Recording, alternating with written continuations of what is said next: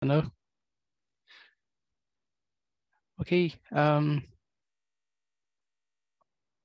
hello, everyone. Uh, welcome to the uh, third uh, day of Manila PTG. So uh, we have we've had great discussions over this uh, over the course of this week, and uh, today we will have some more. so we will start our day with the all things Ceph topic. Um, there are a couple of uh, things we uh, have to, to talk about during this uh, Ceph uh, hour. So yeah, uh, it's a good it's good to see that uh, the, the Ceph folks managed to, to put like some some topics together and get some some people involved. And after this, we'll have the operator hour, which will be from 15 to 16 UTC. So yeah, there's the link is wrong here, but uh, yeah, there is uh, already uh, an Etherpad for the operator as well. So um, yeah, we will use this one uh, in in uh, basically one hour. So and after that we'll have like another topic for Ceph, which is the CephFS drivers CI decoupling, and we'll close our day with uh, the another topic like the better use of the bug statuses. So yeah, um, I'm yesterday was a, good day, a productive day. Um, I'm glad to be here today as well, and I, I am sure we will have another productive day of discussions. So first topic of the day, all things Ceph, uh, Victoria, Francesco, and Goutham uh, for yours.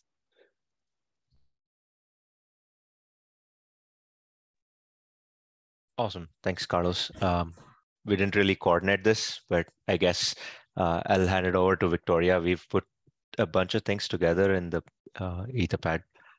Uh, hey, Carlos. Hey, Goutham. Uh, yes, I mean, we have several topics we need to cover. Uh, I see, though, that we have in our meeting um, Frank's uh, Filz from the NFS Ganesha team uh, and also Ramana. Uh, so I guess the best um, topic to start is about the Ingress Aware NFS Ganesha topic. Um, I can, well, uh, go ahead and explain a bit what is the issue and um, which are the current blockers we are seeing, and then um, hand over to Frank to, to cover uh, a solution, a proposed solution for this issue. So, um, well, this topic is Ingress Aware NFS Ganesha. Um, uh, the thing is that now with the new driver implementation, we are using Ceph ADM. And uh, in, in this deployment, we have Ceph Orchestrator, uh, which is now capable of creating an ingress service uh, to front-end a cluster of active-active NFS Ganesha instances uh, by a single load balance IP address. Um, there is more details about this on the Ceph uh, documentation. Uh, it's linked on the Etherpad. Uh, obviously, there are many benefits to this since uh, basically it allows us to deploy um, Manila with CephFS NFS uh, with uh, multiple uh, Ganesha instances instead of one as we have been doing nowadays. Um, and well, uh, whereas we got those benefits, we are facing some issues on how we are deploying and how our driver works. Um, basically uh, Manila client restrictions, um, the access rules will not work uh, since NFS Ganesha uh, sees the ingress services IP instead of the client IP addresses. Um, so uh, we have been discussing different approaches on how to, to uh, fix this one, um, but it seems that perhaps the best um, approach would be the implementation of the proxy protocol, um, which, well, uh, I, I will allow Frank to uh, cover a bit about that, what it means and, and what is the, the actual fix that needs to go in place. Um, Frank, would you like to, to cover this part? Uh, sure, thank you. Um, yeah, so the HA proxy protocol is a um, protocol that adds some information in the in this uh, TCP stream uh, on the get passes the actual client address uh, on the TCP stream so that the server, in this case, uh, the Ganesha NFS Ganesha server, uh, would be able to um, extract that client IP address information and then um, treat the connection internally as coming from the client, which would allow the, the server to respond directly to the client um, and also make, um, in NFS Ganesha's case, uh, we're interested in making export access um, permission checks uh, based on the client IP address. So having that client IP address available um, will make NFS Ganesha's job easier um, and, and allow those export permissions uh, based on client IP address to, to function. Um, and the, the plan is to handle this all within the um, NTIRPC um, layer of the the Ganesha um, setup so that the NTIRPC would would see the HA proxy protocol activity and would um, capture that client IP address and present it um, so that in a way that NFS Ganesha, the actual NFS Ganesha code would not need any changes. Um, and uh, and and this protocol is is pretty simple. So this is anticipated to be a relatively simple um, process to to do that. And um,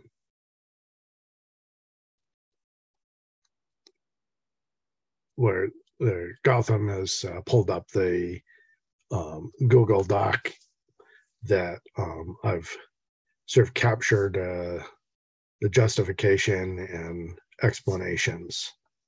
Uh,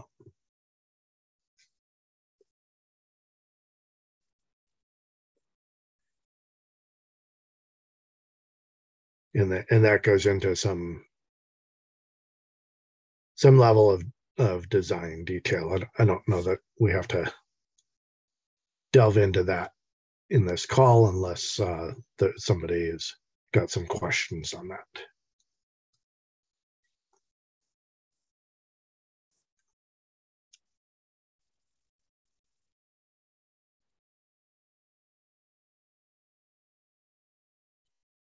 Are there, are there any questions?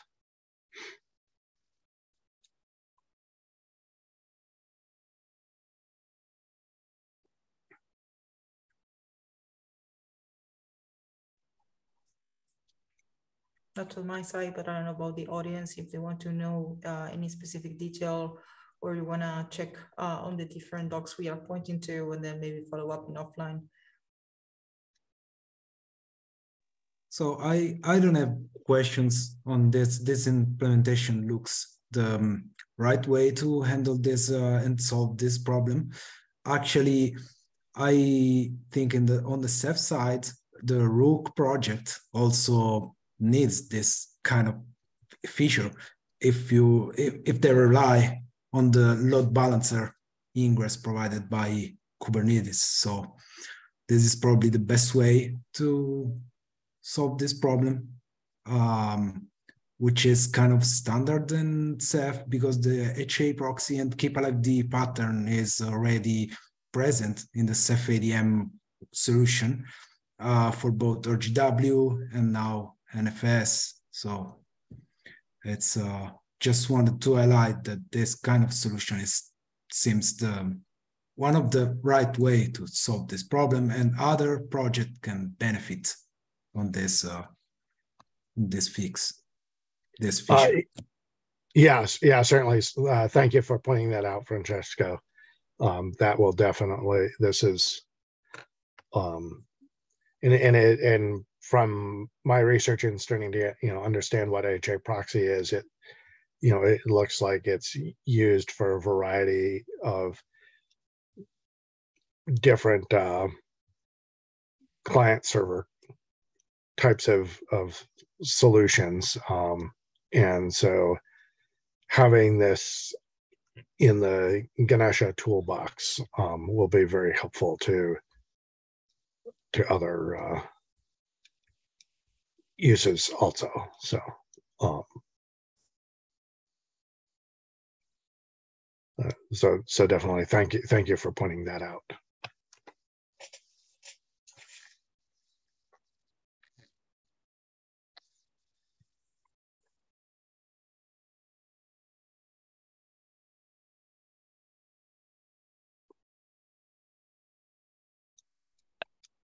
Awesome. Thanks, Frank. Uh, I do see another uh, call out in the Ingress Aware Ganesha uh, stuff on line 16 to a different solution.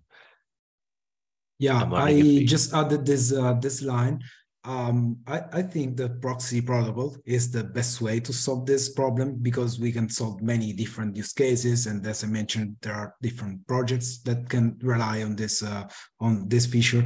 Uh, there is an effort that I wanted to mention in the Ceph ADM project to solve this problem on a, in a different way, which means um, basically remove the HA proxy layer and just provide uh, keepalived uh, owning the virtual IPs basically and providing them as stable IP tied to the Ganesha instance.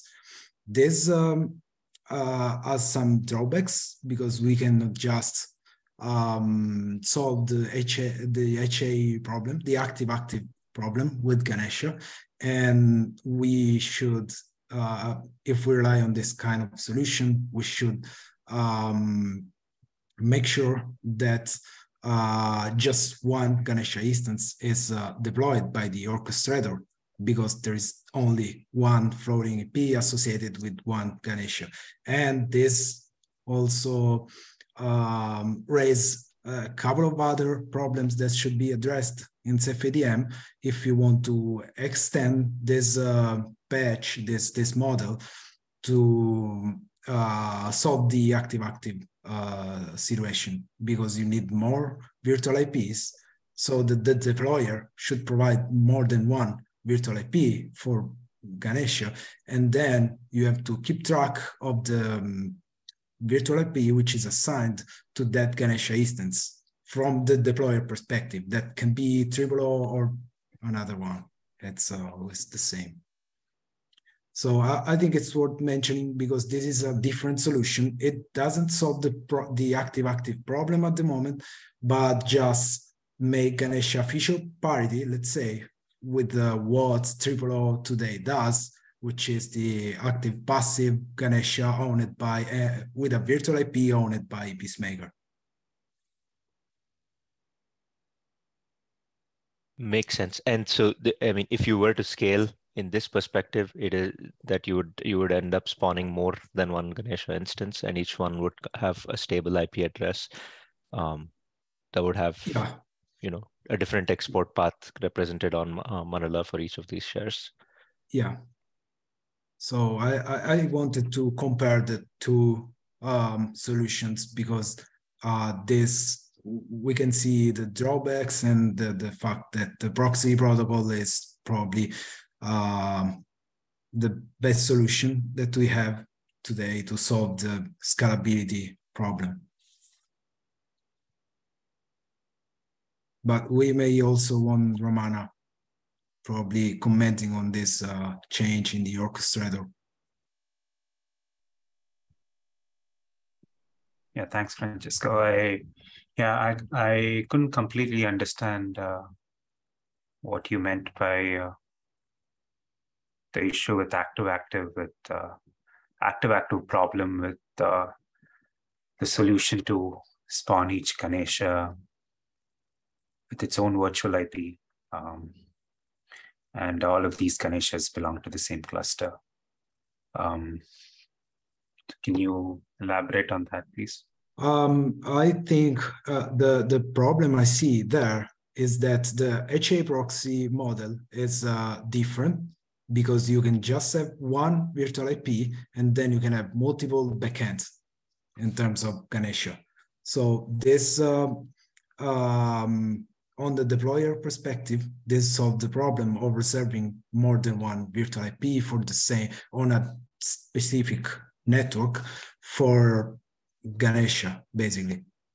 Uh, while the other the other solution means that you have to expose this uh, virtual IP on that network um, for each instance that you want to deploy. Uh, regardless, uh, I know that they are the same Ceph NFS cluster, so they just belong. You can solve the problem of uh, active-active within the NFS cluster.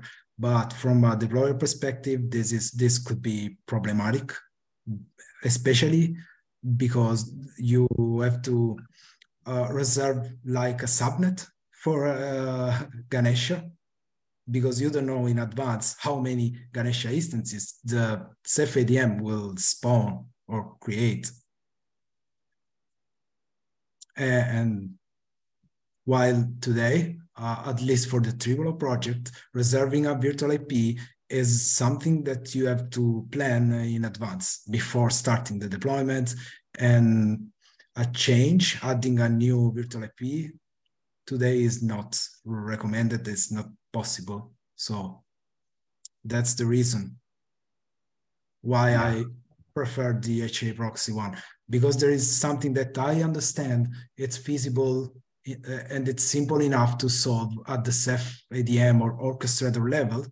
Um, but it's problematic when you work in a bare metal world and you don't know in advance how many instances you don't have control over the reserved virtual IPs. That's the main driver. Okay, so the from what I understand, the the the issue uh, is is allocating multiple more than one virtual IP uh, per cluster yeah. is is an issue from uh, uh from the uh, OpenStack uh, um, configuration side. Okay. Um, the we we also need to consider that the HA proxy solution where we have HA proxy uh, in front of uh, multiple active Ganesha servers. Um, there are some drawbacks uh, to that use case too. For example, um, we, would face issues uh, if we want to, uh, in the future, if if we are able to, um, you know, if we want to like shrink the cluster or like rebalance the cluster. Um, so there might be issues of how HA proxy would, if if at all, it can interact in such a uh, in in such a scenario where we are, you know, uh, shrinking or uh, expanding the cluster. Um, how how how would the clients be uh, NFS clients be moved? Um, so I I know that this feature is I mean right now no one's working on it, but in the future, uh, with the HA proxy involved, I don't know how we're going to take care of that. Uh, um, so we'll we want to be aware of that as well. Um, and um, from my understanding, having uh, HA proxy in the middle, uh, even though there's a, uh, I think there is a network hop, um, but HA proxy is designed so that there's not too much of a overhead. Uh, so I think we are fine on that front, but that's also something we want to uh, consider.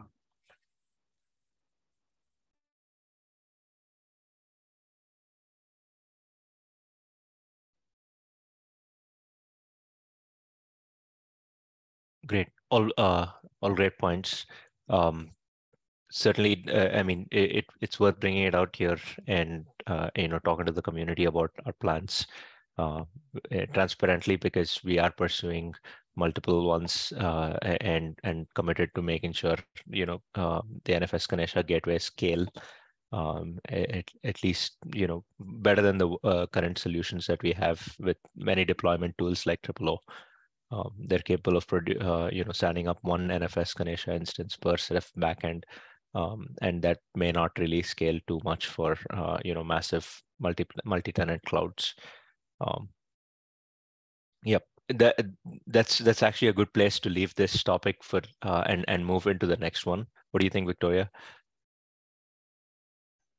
Yeah, sounds good. I guess that um, something that was not mentioned that maybe we can um, clarify is about um, even if something on the Manila side and uh, more or less estimate um, when do we want to see this included or when we expect to see this included. And as far as the understanding, Manila, we don't have to do any specific change. Um, I don't know about uh, if we need something on migration, which is, well, the next topic, so uh, we can cover that there. Uh, but uh, with regards to driver changes, we don't need to do anything in particular. And estimation, like we are expecting to see this landing by um, early next year, um, or maybe, you know, um, midway next year. At least that is what I understood.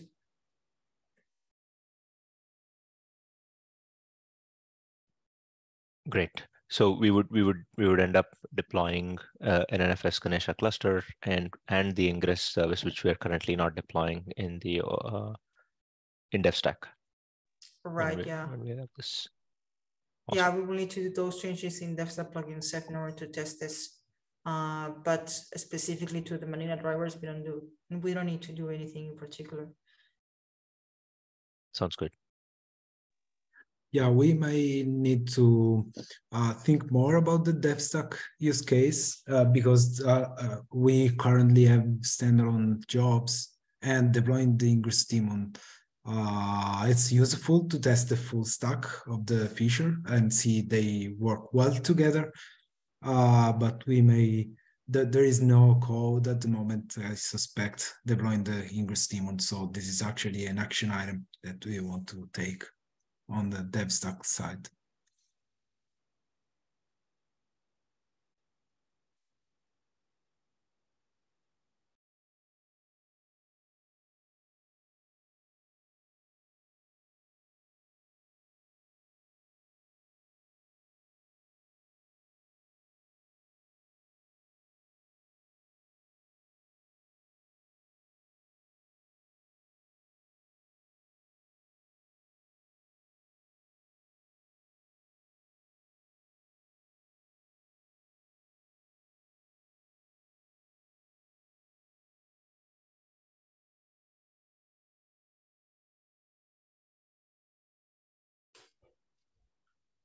All right. I think that uh, we could move now to the next uh, discussion topic. Um,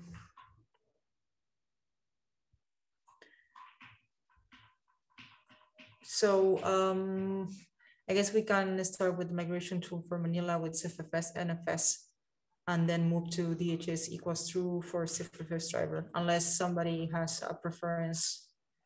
You want to discuss something first?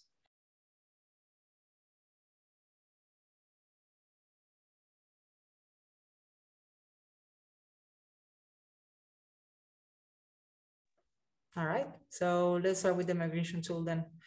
Um, so um, during this Zed cycle, um, a new helper was introduced uh, for CephFS NFS drivers um, that allows uh, you to leverage a CephADM deployment.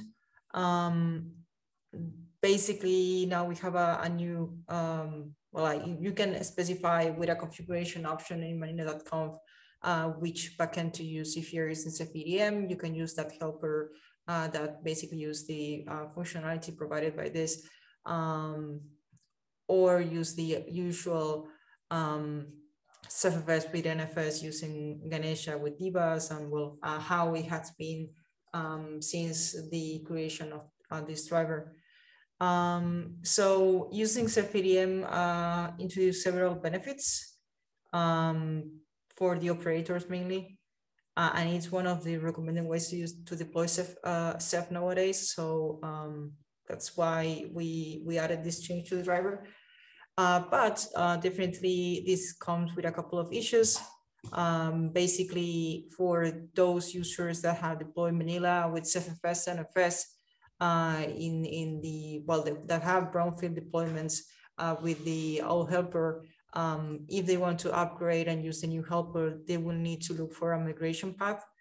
Um, and basically this includes um, moving all the different exports they have in their um, Ganesha in the NFS Ganesha servers to the new ones. Um, and uh, well, uh, because of this, if we want to to propose uh, propose a, a um, holistic solution, we need to think about a migration path. So um, for today, we also wanted to discuss about that. Uh, try to think on possible ways to implement the migration tool for users uh, that are consuming NFS shares with CephFS with NFS and that want to upgrade other clusters to Ceph ADM manage NFS Ganesha. Um, I see, Goutham, that you added a couple of items regarding different problems we see. I don't know if you want to cover that. Yeah, sure. And I did want to make it a little more generic, at least on the uh, Manila driver side. Um, and the yeah, let's let's probably walk through those. Um, so right now we have a situation where we have um, two ways that you could interact with the NFS server from the Manila driver. Uh, one of them is uses the dbus interface. Uh, it sets up and deletes exports and updates exports via via dbus, and the other uh, uses the Ceph Manager API. And uh, behind the covers, you know that the Ceph Manager API is only going to work with NFS clusters that are deployed with Ceph ADM right now. And hopefully, uh, if, if you're trying to use a Rook deployed Ceph cluster, um, they're going to work there as well. But it's not going to work with a standalone Ganesha instance that you're probably putting together, uh, uh, which we'd call the old way of doing things, which there are probably a lot of production deployments considering right now uh, sorry, doing right now. So um, the, solu- the, the problem we have in front of us is how do we uh, migrate those exports? Um, and and we've kind of had the, uh, this discussion here in the in a past PTG where we've said that uh, you know you have a deployment that has an existing Ganesha server. Um, probably, I mean, not expecting it to be a cluster of NF, uh, NFS Ganesha servers because that is is something absolutely new. But uh, presume that it's it's a single NFS uh, Ganesha server with uh, an IP address uh, which is represented in each of the exports uh, for all of the Manila shares. And uh, le let's say in you, with the antelope release, perhaps, or even with the Z release, you, you try to stand up a um, a NFS Ganesha cluster um, with Ceph ADM, and you have a different set of IP addresses or IP address, uh, depending on what solution we uh, you, you, end up using, uh, whether you end up using the Ceph Ingress service uh, or the other solution that we just mentioned um, with you know stable IP addresses to each of the NFS Ganesha servers. So you you have um, the, uh, you you basically have a brand new server with with brand new uh, IPs, and we we uh, you you're now with this situation where um, you've got to start advertising this on your cloud, and that is, I think, where the driver can uh, can can help a little bit. Um, although uh, the disclaimer here is that when you're trying to move between these NFS servers, uh, you can try to minimize the disruption, but it will uh, it it'll certainly not be non-disruptive.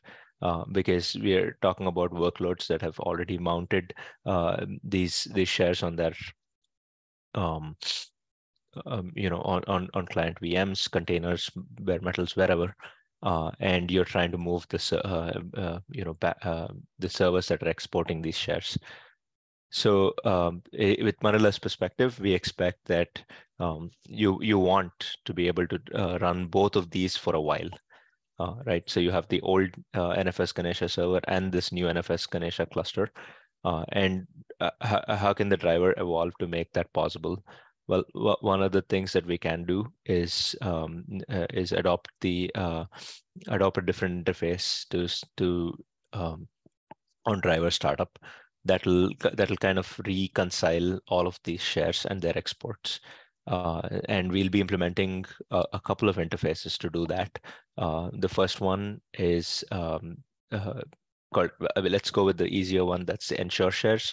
Um, uh, we currently have a, an ensure share, and what Manila is doing at startup is it's is talking to the driver about each individual uh, share and asking it, asking the driver to to to claim hey is this all right is, is this available and all right on on the back end And uh, what is happening in this FFS driver right now is that the share is getting created, um, and and that, that's only because um, uh, you know subvolume creation on CephFS is idempotent.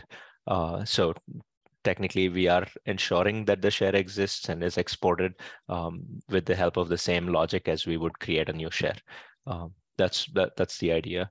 And so we, uh, the the plan here with with um, trying to make that a little more efficient as part of this effort is to do uh, a bulk ensuring of these shares. Take that logic away from the, the share manager. We don't really need to be given one share at a time.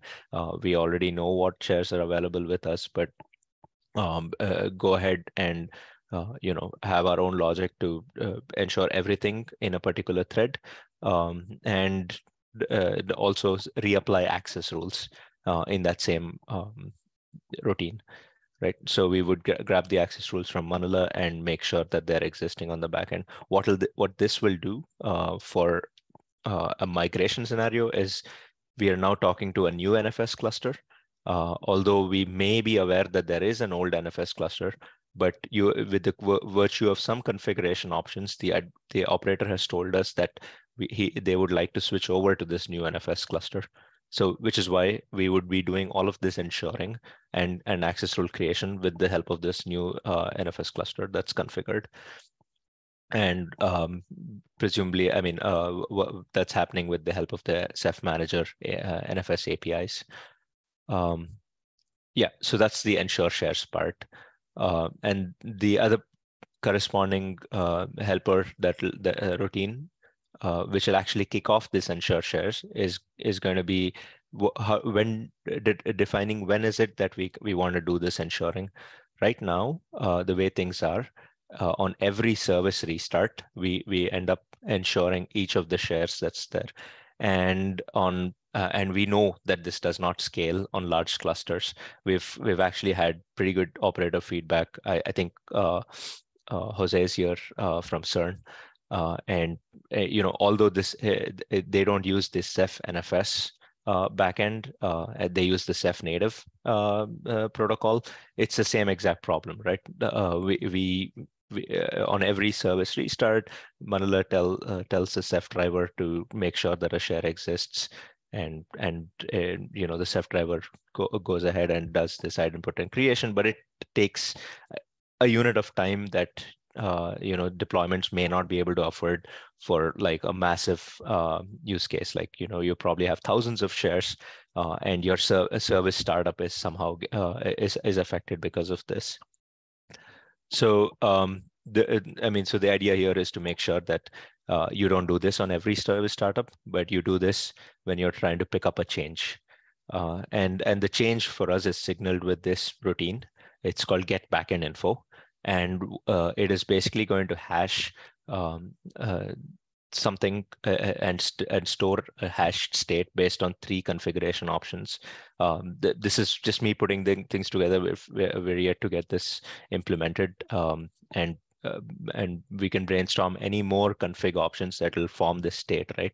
But for now, um, there are three configuration options. One of them would be the uh, current NFS uh, IPs that you're providing. And this you could provide with the help of a couple of config options right now. If you're not using the Ceph uh, cluster way, right? You, you, you have CephFS Ganesha server IP or CephFS Ganesha's export IPs. So if you've configured any of these, uh, we'll pick those up and the the new config option that Victoria's change introduced uh, is CephFS NFS cluster ID. Uh, this will signal to the driver that um, the drivers got to start using the Ceph Manager APIs um, to communicate to uh, an NFS cluster, which is not the same as using um, the, the dbus APIs, which we were doing in the past. And the, the third config option that, that is going to be new is CephFS ensure all shares salt.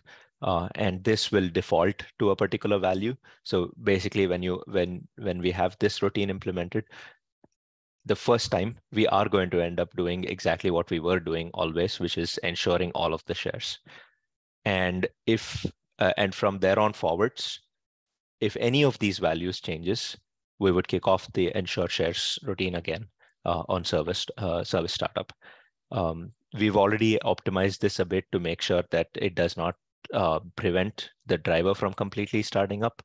Uh, the, the, driver will be operational uh, while this is happening in the background. That's that, that's another um, uh, improvement that we made on the Manila core side, not not and it affects all of the drivers. Um, but the idea with these two routines right now is that we will have uh, a way to represent the, you know exports as they are moving um, as as a deployment is planning a move from uh, decommission, decommissioning an old uh, NFS server and bringing up uh, a new a new set of uh, NFS um, servers with the help of uh, CephADM for for instance.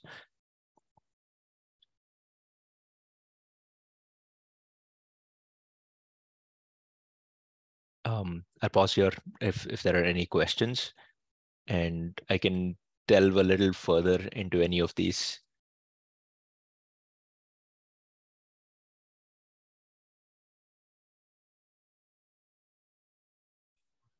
Awesome, Goutham. Thank you so much for, for the detail on the uh, proposed solution. Um, so I probably doesn't need a, a, clarification, but basically what we are presenting here is a way to migrate without actually running um, a script or anything like in a day to operation or to that to do the migration, but changing a configuration option in my .conf to indicate that we want to use uh, the NFS Ganesha server that is deployed with Ceph ADM, uh, and the migration is going to happen um, in a well um, more automated way uh, by checking uh, the backend info and doing the ensure share operation that we already have. Yeah, uh, yeah, and and presumably you will toggle these configuration options uh, when you're bringing up the cluster, uh, the NFS Ganesha cluster, and when you're decommissioning the old one, uh, the old NFS uh, Ganesha server. So you you would do this at least twice through uh, to enable this migration. And um, and what Manila will do is is what's explained in uh, on lines 59 to 62, right? we'll end up uh, consuming these old IP addresses that you have uh, with the help of those configuration options, as you were always doing. Uh, will but we will expose those ex, um, uh, export paths associated with those specific IPs as non-preferred routes. And uh, that should be uh, some way that we, I mean, we would probably have to document this and and and deployers would still have to make users familiar with the with the aspect um, you know, because deployers are going to take a disruption, we we assume that um, they're, they're going to talk to their end users and tell them that the workloads have to be uh, will be affected. They'll have to remount based on a brand new export location and and uh, and stuff. And maybe there is something that deployers can do to hide that fact away from uh, end users. But it it may not be uh, something generic that we can go ahead and implement in uh, Manila. That's the that's the issue here.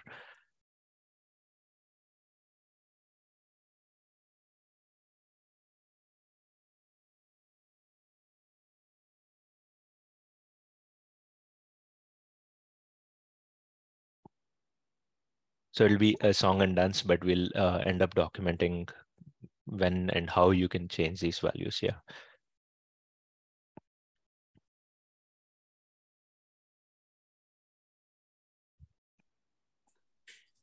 Okay, nice.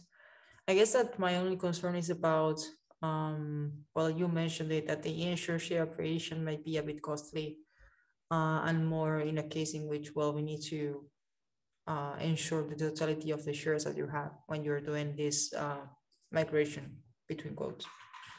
Um, but in that case, are we expecting, like, for instance, do we expect uh, the operator to, as you said, as you mentioned, that you know, to to share, to disclose with the users that they are going to have some sort of, you know, service disruption, um, and include, you know, the time that the ensure share operation takes in order to finish this, as you know, as expected or estimated time.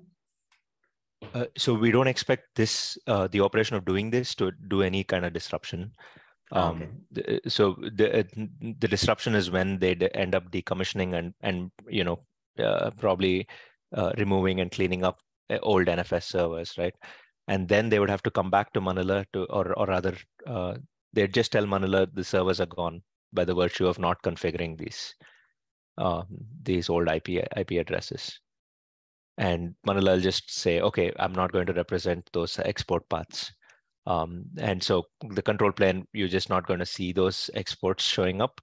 Um, but maybe the server uh, is then going to be shut down gracefully, whatever. Like, you know, they have their own decommissioning uh, time uh, that they want, you know, make sure that workloads are ready for it and stuff. But this will give us a way to kind of signal that's coming. Um, so users can continue to use old exports, new exports, and some one fine day you know when the operator is ready to shut down with enough signaling they can go ahead and make this change. Um, but none, none of these changes should affect anything on the data path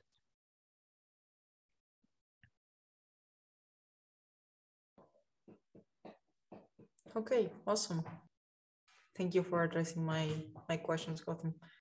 Yeah. I don't know if anybody else have uh, any question about the, the issue and the proposed solution. Maybe some feedback.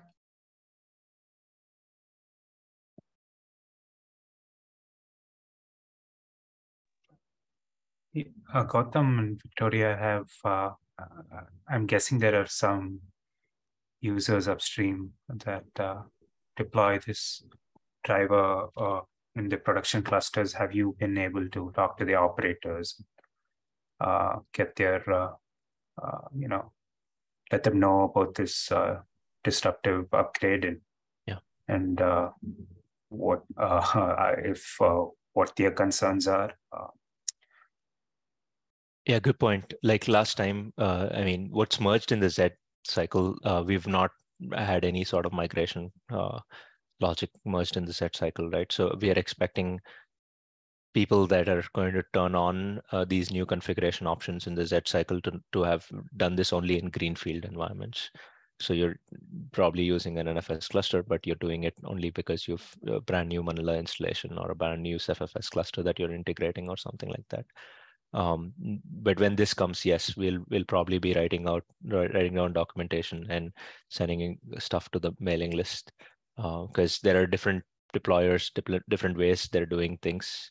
Uh, we know of one very intimately because uh, TripleO, uh, you know, deploys this in a particular way.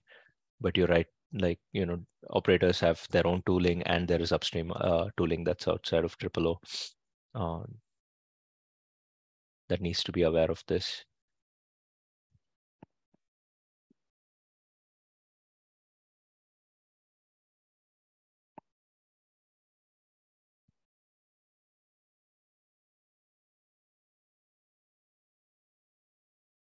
I'll, I'll, I will add another point here that uh, those config options with which uh, signal state. Um, I mean, you, you you could be using it with CephNFS, but if you're using native CephFS, like um, I mean, like for example, if you're uh, if you're CERN, for instance, uh, that that that has a massive use case for native CephFS, um, that backend uh, get backend info still in, uh, includes uh, I mean, it does include a CephFS ensure all share salt. That's going to be shared between these two drivers, these two protocols. So if you would like to kick off an ensure share as a deployer, uh, you can still do that by, ma by manipulating that salt.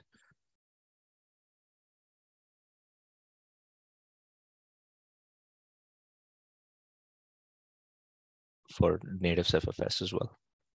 That's the idea, at least.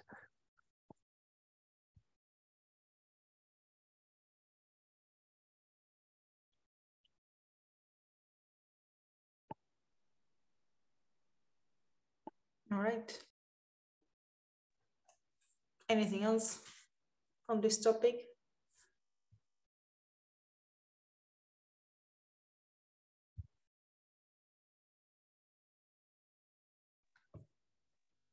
we probably can move directly to the next one because we don't have too much time to cover it and it's I think quite long. So if there is any other comment for the uh, migration path for um, CephFS NFS, um, we can uh, continue discussing offline. So, all right. Uh, DHSS equals true for CephFS driver. Um, so this actually is a, is a, a, feature request that was raised during the Open Infra Summit uh, in Berlin by several uh, Manila uh, with CephFS NFS users, uh, sorry, uh, with CephFS native users. Um, currently, the CephFS driver, whether you use it with native or NFS or NFS via Asset Manager, only supports DHS equal false. So I was right on the first place. Uh, sorry for correcting. Um, so this presents a couple of issues. Um, well, actually several limitations for this. Um, so native CephFS remains uh, to be useful only in clouds with uh, trusted projects or users. Uh, sharing an NFS gateway or even a cluster among unrelated project users isn't scalable or secure. Uh, and to partition projects uh, best practice would mean using different Ceph backends. Uh, either entirely separate subclusters or isolated file systems MDS uh, different NFS servers.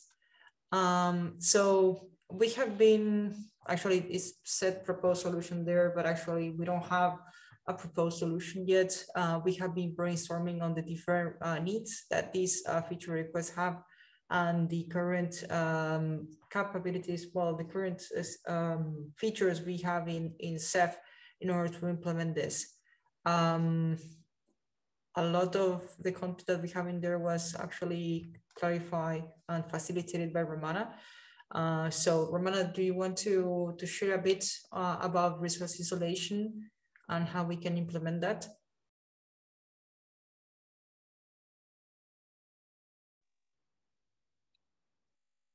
Yeah, I mean, uh, as far as I'm aware, I mean, I don't uh, totally um, uh, understand the the requirement. Um, but uh, what what what I can gather is that uh, the deployers, uh, sorry, the users want the driver um, itself to um, to be able to deploy multiple CephFS uh, file systems, or uh, I mean, or or what we call volumes these days. Um, so the expectation is the native driver um, be able to deploy multiple CephFS volumes where each CephFS volume uh, comprises of its own uh, set of MDSs, uh, typically at least one active MDS and a couple of standbys, and its own uh, uh, metadata pool and data pool. So um, so that's the requirement, I think. Um, so we want to be, uh, um, we need to consider that uh, each of these uh, metadata servers uh, uh, to ho host them, uh, it's it's it might it's not lightweight. Typically, the MDS is MDS hosts need to be need to have a very good configuration in terms of uh, because it's CPU intensive. Uh, similarly, uh, having more metadata pools and data pools has overheads on the OSDs. Um, so we need to be uh, so the the deployer needs to be aware of that. They shouldn't think like launching uh, separate uh, CephFS volumes is is cheap as as cheap. Um, so we need, uh, so we'll want to make sure that uh, we don't make it too easy on that front. Um, um, so that that that was uh, one of my concerns with this solution. Um, um, and I understand the requirement uh, is because we want strong isolation of the metadata workload. Um, and uh, and solutions such as making sure that uh, each CephFS subtree or CephFS subvolume uh, being pinned to a particular uh, MDS is not good enough. Um, so in that case, yeah, definitely this seems to be one of the solutions. Um, I was also thinking, I mean, what what what stops the uh, operator from having multiple instances of this FFS driver, uh, each driver pointing to a different file system. Um, no, you're right. Uh, right now, that's the only, that's the solution that that probably uh, folks are using to uh, segregate users, and the way that'll work, and that's the, the way we've recommended it. Right, the, the way that'll work is you've done the um, uh, the work to have different file systems, and you probably have a sufficient number of them that your infrastructure can afford. Uh, because you've sized the MDS, like you said, you've done uh, all, all of that background work outside of Manila. We have nothing to uh, do with it except that we see that new file system as a brand new uh, Ceph backend.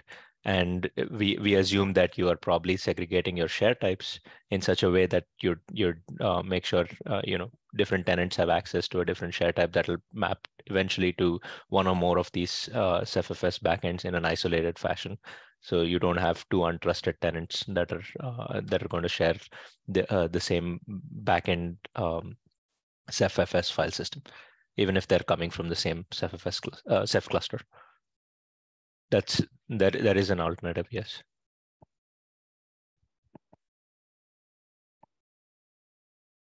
But um, I mean, the, the I think the uh, the the ask here was if we could do this a little more automated, uh, because I guess, you know, if the tooling is capable, if the driver is capable of creating these file systems, um, it would enable, you know, tenant-driven uh, isolation,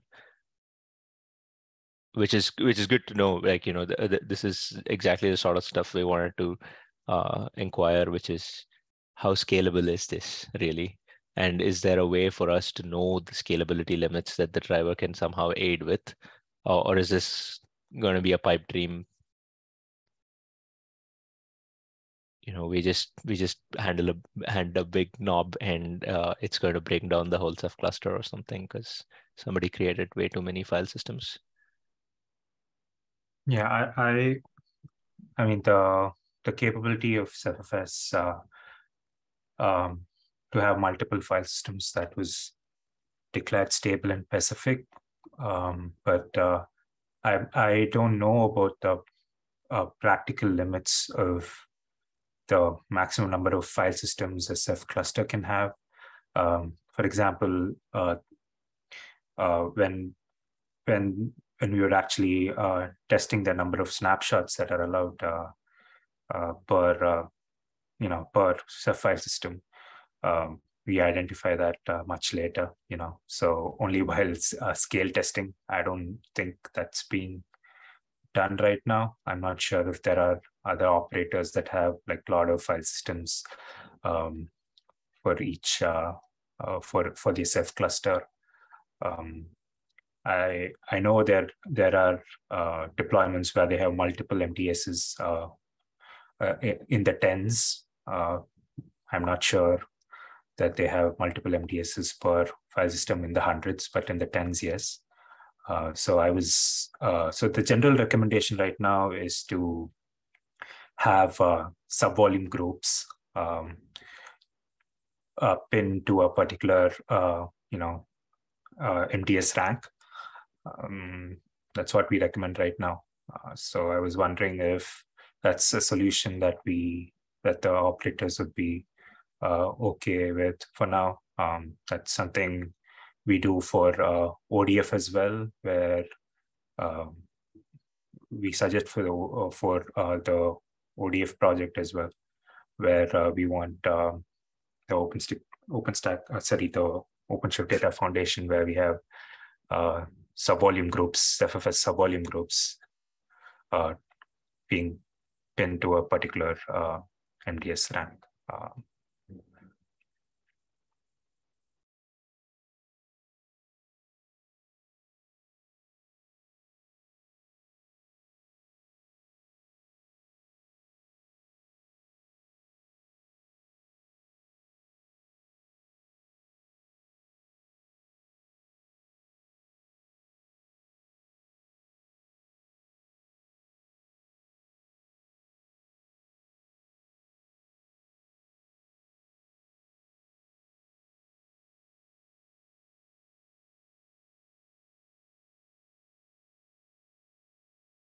Yeah, I, I'm I'm actually interested in this subvolume group stuff because um, I mean, when you first implemented the driver, I think we had support for um, group snapshots, and that's all.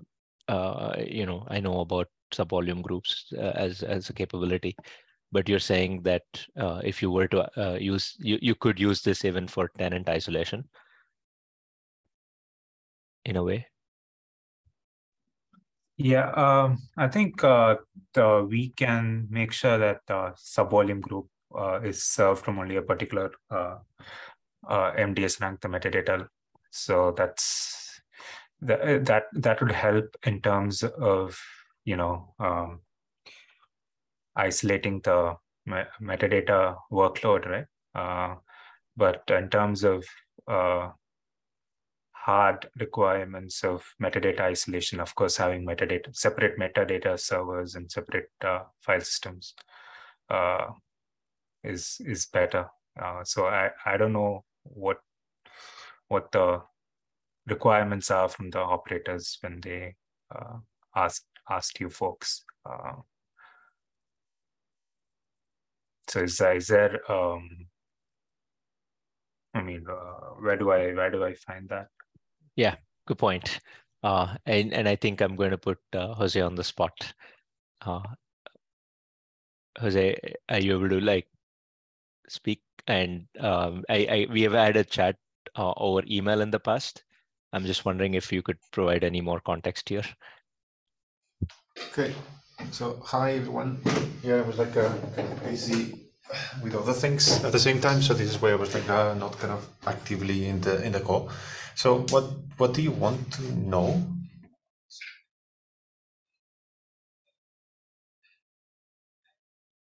Uh, Ramana, do you want to uh, sh share the question? Reform yeah, reformulate the question, please. Yeah.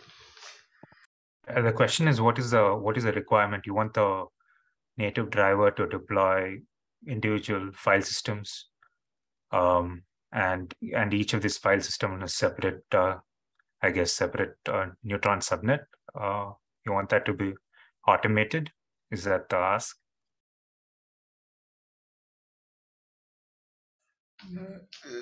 The, the thing is on our side we don't we are not using any uh, kind of isolation between projects they're kind of under the same the same uh, laboratory and then uh, we're kind of uh, using different clusters in case that we are sharing with other with other other clients of the of the organization so this, I understand kind of the idea of uh, separating these subvolume groups, but I'm not. what I what I would say is like we are not using uh, these uh, DHS at the moment, at least certainly not using that. I guess the question is then, uh, would you require would you require in some certain future uh, DHS repository that is multi-tenancy support? Yeah, I see. I see the point of having something similar for the all the uh, finance and uh, things that that they want to kind of keep uh, hidden from the rest of the organization. So I, I see use cases. They are not using it yet, but I see I see a use case for that. All right. So in in in that case, then um, how isolated uh, should the report the resources be? Um, because uh, for what I understand from Ramana, is like it's uh, there are several components in which we can ensure um, resource isolation, and uh, yeah, we will need to understand how uh, strict uh, we're going to get on that aspect. I mean, uh, for example, that uh, like I was saying, we can have each subvolume group uh, to be, uh, you know, uh, be pinned to a particular uh, MDS rank, and also on the data side, we can we can make sure that you know that there are RADOS namespace isolated, right? Um, so so those are like much much more lightweight ways. but I'm just so but of course, if the operator is okay with deploying multiple file systems, I mean, we can we can do that. Uh, so, so, so my question is: Is that the expectation that for each of your use case you, you uh, I mean, for each of your applications, you want a separate file system or um, what, what, Yeah, what, the- what, what's, what's stopping you from uh, uh, deploying like multiple file systems? I mean, I, I, I don't know if you, uh, what, the number of file systems that you use in your cluster. Um, No, so so the, the thing is like we, we do very we do a kind of a very simple setup. We have one per cluster and we have many clusters, and then we uh, we uh, we have share types that map to all those clusters. It's like it's very simple. We don't go we don't go kind of uh, overboard. Uh, the the the thing is like a kind of for for us kind of the, it's more or less like easy to have a. Uh, have equipment to have a new cluster and then uh, actually make it only available for the uh, for the say the finance and HR areas of the of the laboratory. Uh, having sub sub groups that will help to merge those clusters into having a kind of a single one.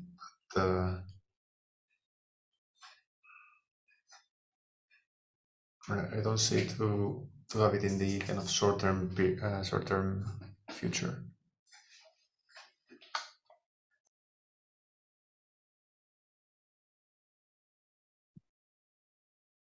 Cool. In order to like, you know, have uh, not, not have someone clobber up, uh, you know, the MDS servers. That's kind of what uh, pinning uh, would help us with, right? Uh, could we could we kind of say, you know, this MDS? Uh, I mean, we can set ranks, but is that also going to disallow, uh, you know, other paths to be used for that particular MDS? Ramana, is that an option? I mean, the, the, the primary use case for, uh, you know, pinning an MDS subtree to a particular rank was because the native uh, load balancer that was in CephFS wasn't wasn't doing uh, a great job of of uh, load balancing the metadata across different MDSs. Mhm. So, so the solution was that the operators manually, you know, pin a particular subtree to a particular MDS so that the MDS load balancer doesn't have to do that when the, uh, you know, the subtree becomes too big, the metadata. Uh, so the And, that, and that's yeah, what we do. yeah, and that's yeah. what we do. so that's something that you already do um so the the the question is uh you i mean i i don't know what uh you you you do, you want here though the, you want um separate file systems to be managed by the driver or or what's the i mean i, I don't understand the requirement honestly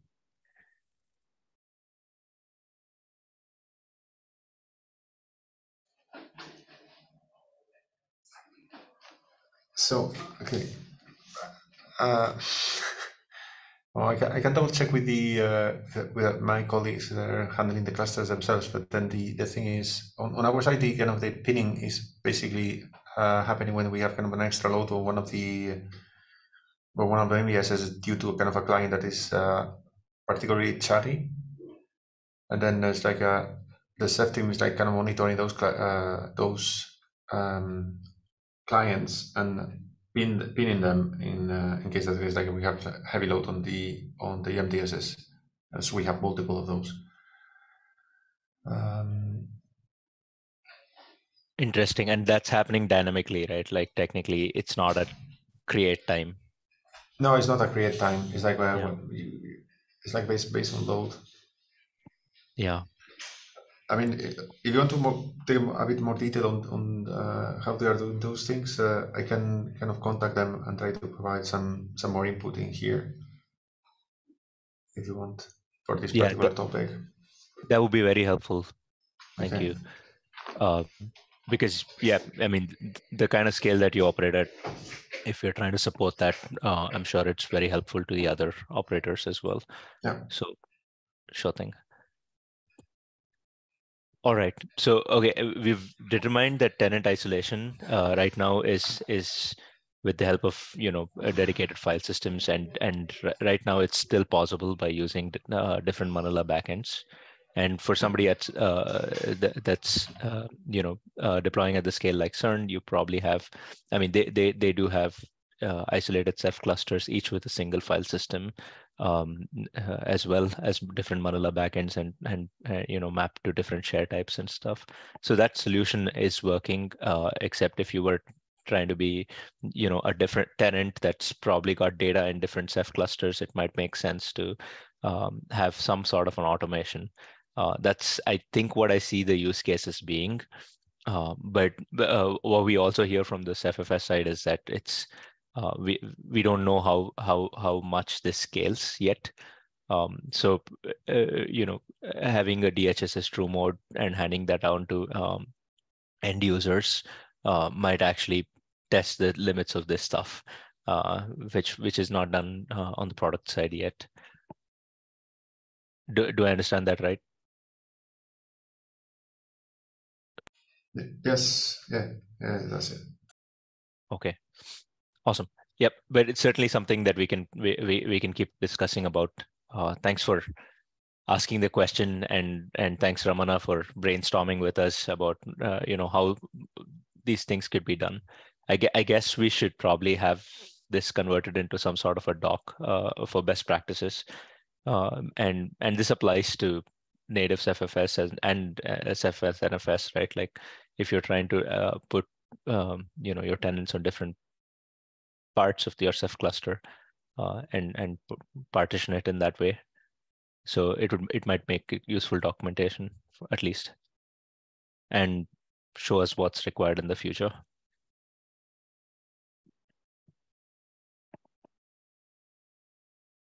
So I'll take that AI for us.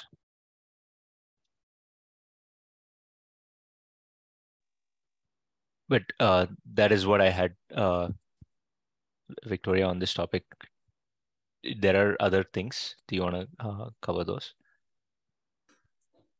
Uh, no, I think we are okay for now. And actually, we are over time. Uh, it's yeah. operator uh, hour now, so we can wrap up here, and then we have the other topic to talk about the CI.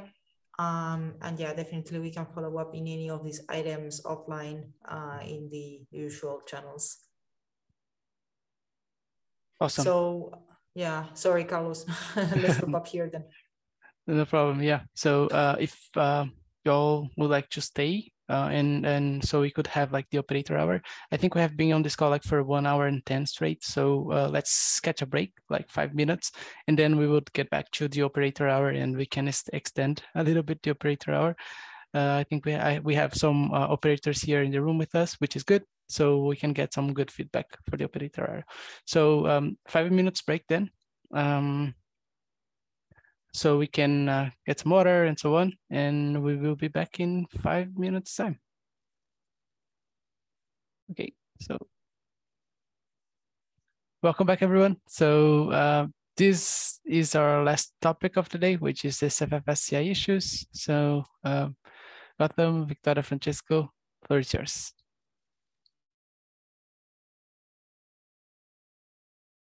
Thanks, Carlos. All right, that's a, again, this is something going to be a group effort because we haven't coordinated this. Yeah. But I'll defer to Victoria. She's been doing all the yeah. CI work with uh, exactly. Francisco. So let's start. so yeah, well, I can, I can introduce and and yeah, we can just um, brainstorm together. Um, but actually, uh, this this topic it has a lot uh, in common uh, with what we were discussing uh, Wednesday, I think it was, uh, sorry, Tuesday in the retrospective. No, sorry, Monday. I'm lost. well, during the retrospective, we were talking about uh, CI and the fact that we need to decouple um, uh, how we are, well, uh, running our jobs because uh, basically we are hitting some resource issues. And this is the same case uh, for the CephFS drivers, uh, both CephFS native and CephFS NFS uh, has been quite unstable. Uh, not only with um, the current uh, drivers um, for CephFS native and CephFS NFS, but also with the new one with CephADM And this is mainly, well, again, to the lack of resources that we have available in the nodes. Um, so because of this, we started brainstorming on how we should um, rest, well, restructure the test so we can stop uh, hitting so many um, failures and will uh, have more stable CI. Um, I guess that, well, this is, uh, it, it worth mentioning, this is a project that we are framing for an Outreachy internship. Um, so we are going to be working on, on the proposed solution uh, with an intern.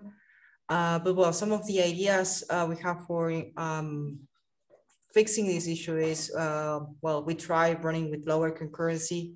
Uh, it didn't help too much, to be honest. Uh, breaking up the test with separate jobs um, we separated API and a scenario jobs, um, but still, for instance, in API, uh, it would become more stable, but for a scenario which usually take more resources, uh, we, we didn't get to, to good results. Uh, run a smaller subset of tests is good, it helps, but definitely uh, reduce coverage, so it's not the best um, workaround and isolate Ceph cluster with multi-node jobs. This is the internship project I was mentioning. Um, we probably want to invest in researching this uh, solution. Um, as discussed in this session, I cannot recall which which day it was.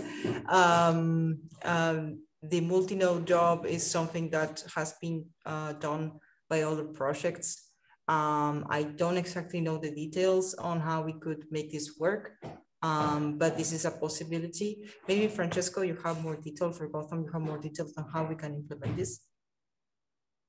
The point is that basically uh, having CephADM, not sure about the older jobs, but with CephADM, we are introducing an extra uh, amount of resources that are needed.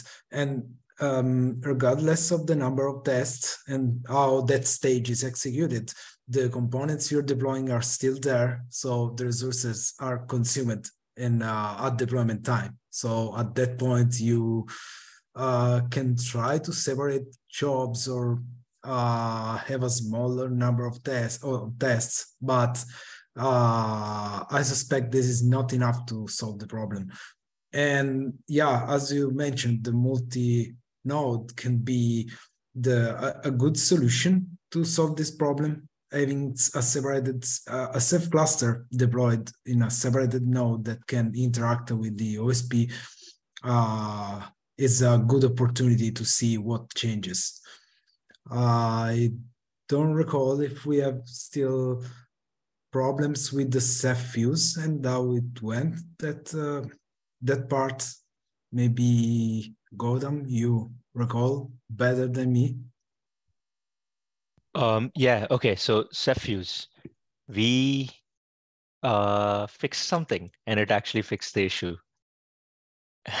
Sorry, I'm blanking too. It's like the last session and we're like uh, yeah, forgetting things. Yeah. but but you're right like we did have an issue with Cephfuse and i think we're currently skipping the tests as far as cephadm is con- concerned. And with the older yeah. uh, uh, stuff we we've just uh, we're just using an older ubuntu image because uh, you know the newer uh, image seems to have some issues with the client. Uh, and we don't pull the client from download.ceph.com we actually just use what's packaged by ubuntu um, because it gets built in with um, yeah. with modular image elements and stuff. So that's where we are with Cephfuse. And I think we went back and forth with uh, the CephFS team, mainly Ramana here. Uh, and while Cephfuse is never going to go away, like, you know, it is a user space client that, you know, end users are going to end up using, uh, we felt like we could stop testing it as much in the upstream CI uh, as we are today which is we run the same scenario tests that we run with Ceph, um, you know, kernel client uh, as well, uh, you know, with the Ceph fuse client, where you know we're, we're really like not really get, gaining much of an integration advantage over there. Uh, uh you know, one of these could could serve uh, tell, telling us whether something is broken in Manila uh, and the CephFS driver. we don't really need to to be testing both, is what we kind of concluded.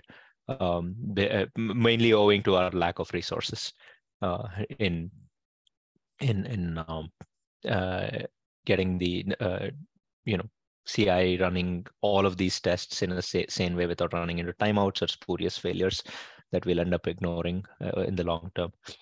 So that's the state of affairs with Ceph fuse.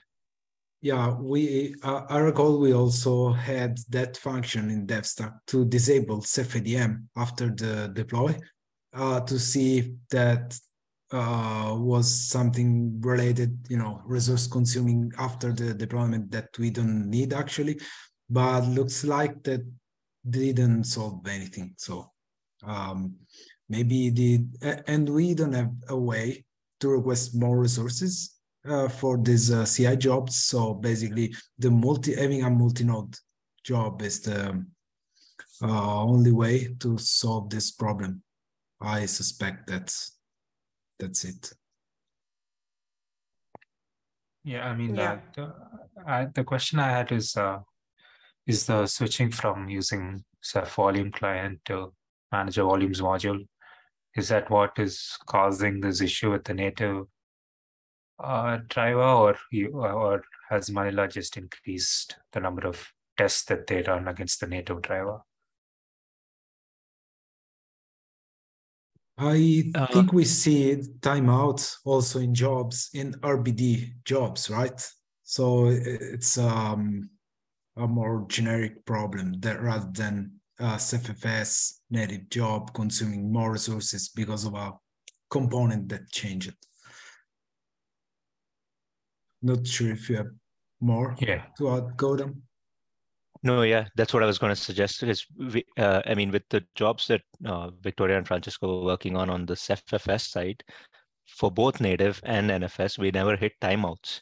Uh, we were seeing test failures uh, because you know of resource contention issues. Like uh, you, you know, there there was an uh, there was an issue where the NFS server would just die on us because of lack of memory. Uh, uh, and and lack of memory also would mean we we lose certain uh, connections to RabbitMQ The are gone or database. database is gone or something like that. Yeah. So, So that this shows side up as some random failure. Yeah. Mhm. And, and if it was not like that, it was because of a timeout. It's like basically the the tests um, will um, hit the timeouts and, and never finish, and that would end on a failure. But that was because it was taking too much, which I believe that was mostly the case for use since uh, being in the user level, it basically had a bit more latency to, to well perform different operations we needed for the shares. Okay, so, Yeah, you're so right. We is had- plan to switch to kernel client for the native driver when testing scenario tests? Yeah, that, that's currently what's happening. Uh, we've disabled the Ceph fuse tests on that CI job, which was running both Ceph fuse and kernel tests at the same time. Like, you know, it was running them one after the other. Yeah, so for, so for now, for the native driver, um, we just run the we use the kernel client scenario tests and um, and then we don't use Ceph ADM to deploy CephFS uh, volumes and um, and and and still we are facing resource issues is what you're saying. So the, uh, the resource issues don't happen if you don't have Ceph ADM in the picture. Uh, resource issues are not a thing for the older uh, Ceph native CI. Uh, so that is basically the RPM based install, uh, sorry, the package based install that we do with DevStack plugin Ceph. Uh, the usual way, uh, native CI, na- native CephFS rarely fails. Um, if it fails, it's something else that's going on, not really uh, resource contention issues. NFS, on the other hand, we still see resource contention issues um, because we're running, you know, the NFS service and uh, along with the uh, Ceph cluster and stuff. Um, but again, it is hard to quantify something like that with NFS because sometimes these failures are just random. Hey, I was not able to spawn a Nova VM, um, but it's not been as bad as the Ceph ADM jobs. The Ceph ADM jobs, uh, we we we see uh, we have we're forced to run with concurrency one, so just have one test thread uh, at at a, at a given point of time, and that test thread is just executing everything serially, right? Uh, and even with that, uh, we end up seeing a time where you know because we spawned a new VM, uh, and we suddenly lose access to the, MySQL database, uh, which is weird. Um, but that's happening because we're running out of memory and and stuff. Yeah. Okay. So it's it's all uh, seems to be related to using CephADM. Okay. Yeah. Mainly, we have had an unstable CephFS CI, but we'll put that aside for the uh, for the timing to deal with this uh, aspect of we want to move all of these jobs to CephADM. Uh, and I'm going to throw another wrench in the thing that um, the upstream uh, QA community is discussing, uh, you know, migrating all of the jobs to uh, Jammy Jellyfish. That's a, that's the next LTS from Ubuntu, and uh, they figured that the Ceph packages are not available. So uh, this kind of makes it more urgent for us to get Ceph ADM jobs working. Um, because if packages are not yet available and we don't know if the Ceph uh, community plans to release packages for Jammy Jellyfish. That's maybe something you know, Ramana, or maybe you know somebody that we can ask.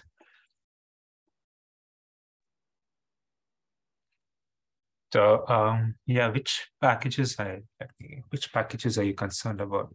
Um, so on download.ceph.com, I think I, I put a link out there, but I'll find yeah, it let, again. Let me do that.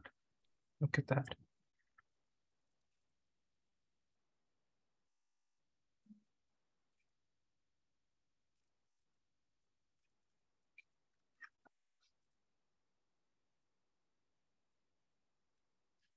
Think we went here, for instance, for the Quincy builds. And the same thing with, uh, I mean, if we were to use Pacific,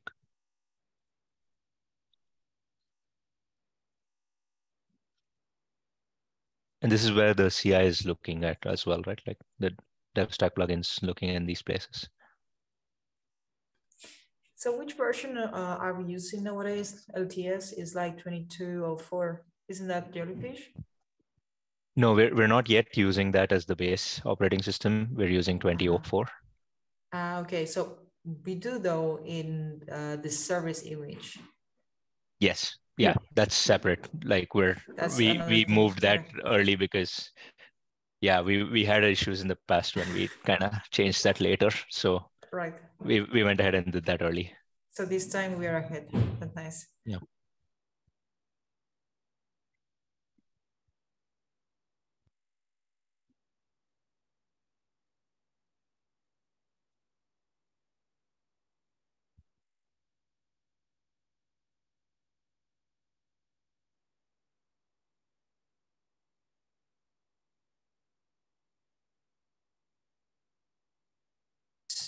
Um, I'm thinking on which would be the package because um, upstream Ceph now is the R release, right? Upstream Quincy was released already.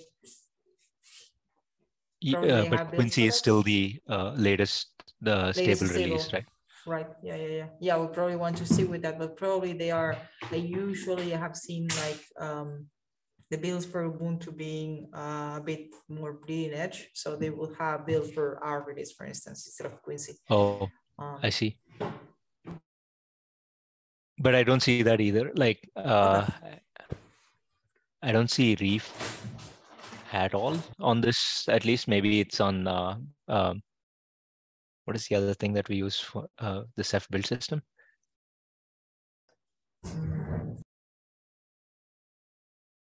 Sorry, I'm forgetting names. It's Shaman. Shaman, Shaman. yeah. Yes. Yeah. And I was looking for it and see if we already have builds there. So it's just a matter of publishing. We should probably ask. Yeah, good point. Uh,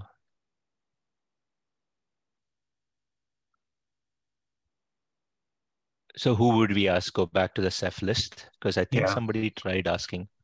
Yeah, yeah I think uh, the Ceph users list would be the best okay. place to ask this. You can just ask them that uh, we need this for the CI, and I can also follow up with a specific person who does this. I see. Yeah. Thank you. That, yeah, but so, uh, emailing the Ceph users list would be the first thing to do.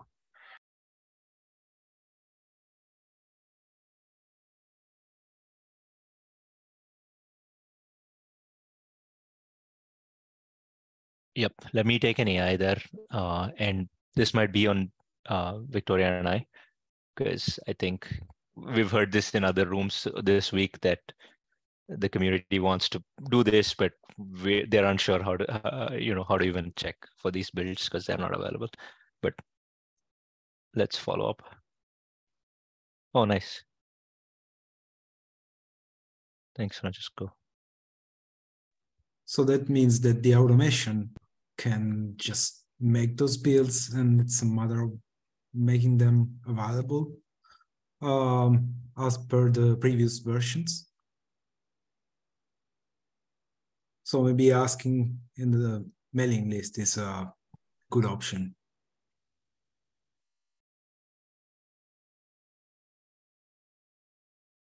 Yeah. Yeah, let's do that. I'll copy you folks and start an email after this uh, call.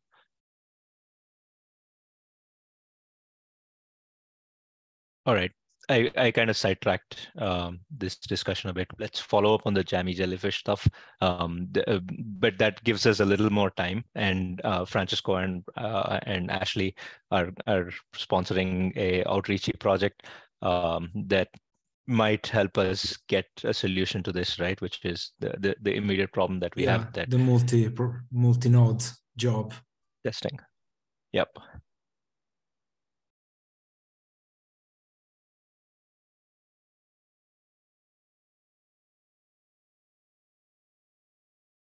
Agreed. Okay. Any uh, any any other things that you wanted to bring up?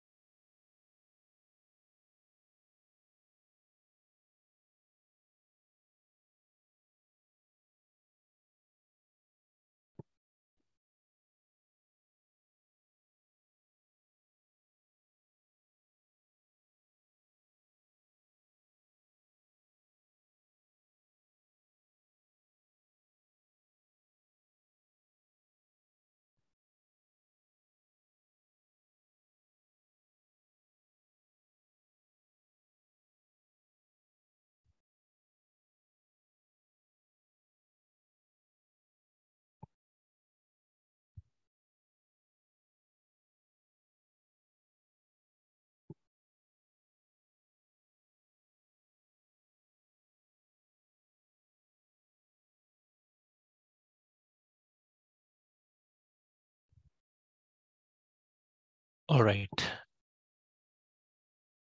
Victoria, is that all? Um, Yes, I think so. I guess that we can summarize like which is the current plan for this. Um, basically the first three items we have in there, I'm going to fix that on the edit later, are uh, different approaches we try, but we end up um, figuring out that uh, these approaches are not enough. So we are going to proceed to, um, well, split um, the environments in a multi-node job uh, separate controllers and compute from the storage.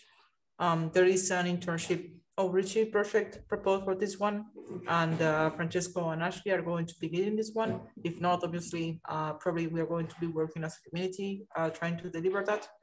Um, this is target for uh, for this release, and um, yeah, I mean, it's going to be part of the rest of the enhancement we are going to do in our CI. So um, I guess that's a pretty good summary. And the action item is to follow up to see if we can get uh, and packages included for um, jelly, uh, jellyfish, jammy jellyfish. There you go. that's it.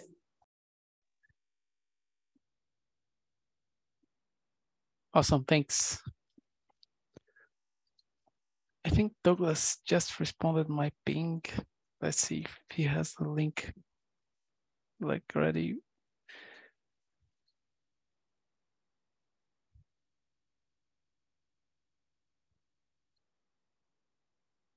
In another case, we can just uh, follow up on uh, a weekly Manila meeting maybe, and uh, we can continue to talk about this or even um, in uh, in another call we might have to talk about this. Let's see here. Yep. Okay, awesome. Um, thanks. Yeah, so I think that uh, if there's nothing to add, um, I think that wraps up our day uh, of PTG. So yeah, it uh, we had the all, all things SAP hour and also the operator hour. Uh, there was uh, another topic uh, for today, but uh, we can push that for tomorrow, and we can talk about that tomorrow. I will take a look at the schedule and we can do some adjustments. Okay, so yeah, thank you very much for joining today's session. It we had great discussions and uh, the operator hour also had like good feedback. Uh, it, it, was also nice to see that uh, Jose maybe uh, like got a solution for one of his biggest pain points uh, on, on, the cloud, like something that will help him. Uh, so yeah, it's good. Uh, thank you very much for joining. Um, I will see you tomorrow at I think it's 10. Yep, just just let me confirm. Oh, it's 13. You'd see tomorrow. So, so it's yep. I'll see you tomorrow at 13 UTC, and yeah, we will have some more topics to discuss. But yeah, thank you very much, and talk to you tomorrow. Thanks, everyone. Thank you. Take care. Thank you.